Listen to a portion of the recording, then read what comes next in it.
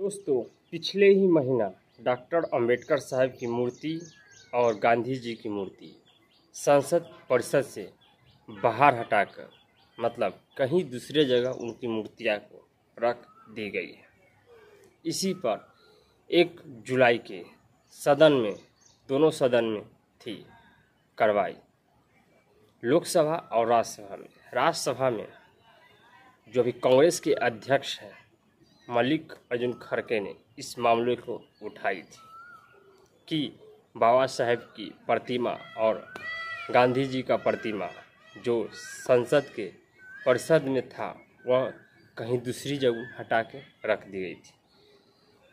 अलुक, अलिक खड़गे जी ने कही थी कि बाबा साहेब की जो प्रतिमा लगाई गई थी, जब मैं छात्र संघ में पढ़ रहा था उसी समय धरना प्रदर्शन विरोध करके बाबा साहेब की प्रतिमा को लगवाई गई थी। 2 अप्रैल उन्नीस सौ सड़सठ को लगवाई गई थी और इनमें हज़ारों लोग की जेल भी हुई थी, गिरफ्तारी भी हुई थी।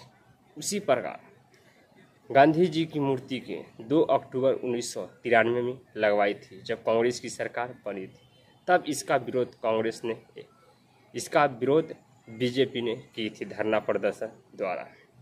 लेकिन वहाँ से अंबेडकर और गांधी की मूर्ति हटाने का कारण रीजन क्या हो सकता था तो रीजन खड़गे जी ने यही बतला है कि सदन के अंदर अगर सदन अच्छा से नहीं चलता था या विपक्ष के अगर बात को नहीं माना जाता था तो अंबेडकर साहब की मूर्ति और गांधी जी की मूर्ति के सामने धरना प्रदर्शन करने लगते थे और उनकी जन्मतिथि और पुण्यतिथि पर सभी आदमी मालार्पण करते थे। उसके बाद और भी लोग देखने भी आते थे, लेकिन वहाँ से मूर्ति हटा के कहीं और शिफ्ट कर दिया गया। है डॉक्टर अंबेडकर जी को और गांधी जी।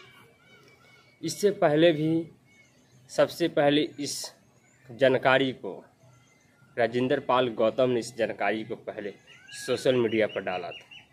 उसके बाद आज़ाद समाज, जो भीम आर्मी है, चंद्रशेखर आज़ाद रावण की, कांसीराम की, इसके लिए राष्ट्रपति को उन्होंने पत्र लिखा था। बाबा साहेब अंबेडकर और गांधी जी की मूर्ति को हटा को कहीं दूसरे जगह शिफ्ट करी इसका क्या रीज़न है और क्या सरकार करने वाली है। उसके बाद एक जुलाई को अमर आज़ाद सुधीर रजक और तमाम ऐसे जो भी लोग हैं बीएसपी के बी एन कॉलेज पटना में चार बजे उन्होंने धरना प्रदर्शन दिया था, एक जुलाई 2024 को। लेकिन बीतने के आज लगभग चार जुलाई के आसपास है, लेकिन अभी तक इस मामले में कहीं भी सुनवाई नहीं हुई है। और न ही अंबेडकर साहब की मूर्ति और न गांधी की मूर्ति जिस जगह पर स्थापित थी स्थापित थी, उस जगह पर नहीं रखा गया है। देखिए, आगे क्या होता है, जैसे आगे कुछ खबर आती है तो आप लोग ही बतलाते हैं।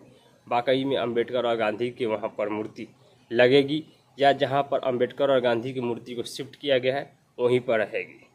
या हो सकता है तो आगे जो विपक्ष के लोग हों या देश के लोग हों, इस मूर्ति बैठवाने के लिए जिस जगह पर था, उस जगह पर हो सकता तो आने वाले समय में धरना प्रदर्शन भी हो सकते हैं या भारत बंद की भी संभावना है। लोगों ने, कुछ लोगों ने बात करते हुए सोशल मीडिया पर डाला है, अगर वहाँ पर मूर्ति स्थापित नहीं होती है तो देश भर में धरने प्रदर्शन और भारत बंद करने की ऐलान की जाएगी। देखते हैं कहाँ तक सफल होता है अभी सफल होता है।